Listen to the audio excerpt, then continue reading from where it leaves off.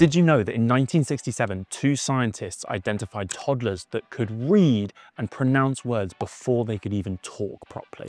This is a condition called hyperlexia, essentially a super reader.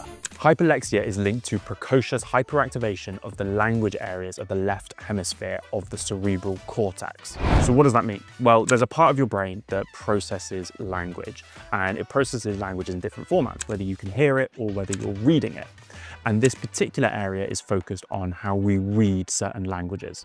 It's super, super active and kids are able to decode and pronounce words long before they have any comprehension of what the words mean. There's a really, really big overlap with autism spectrum disorders as well, around 80%.